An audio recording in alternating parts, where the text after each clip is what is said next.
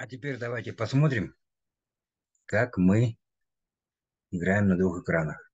Нажимаем на Е, ищем монету, подошли к ней, нажимаем на ES, ESC в углу клавишу, у вас появился этот, а, мышка появилась, да? Переходим сюда, здесь левой клавишей нажимаем на мышку, потом на Е, подходим также к монете, опять нажимаем на Yes, возвращаемся и здесь нажали на левую клавишу мышки.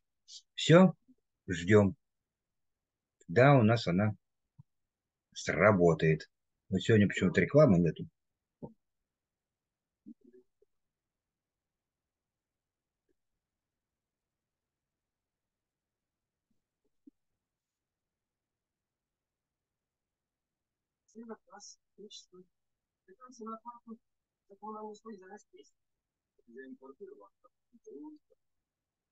Вот.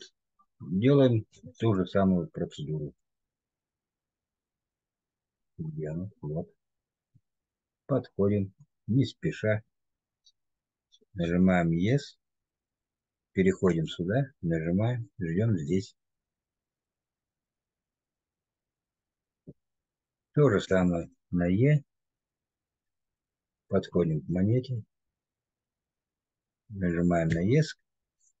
И переходим сюда. Вот таким образом мы проделаем все эти манипуляции, так сказать.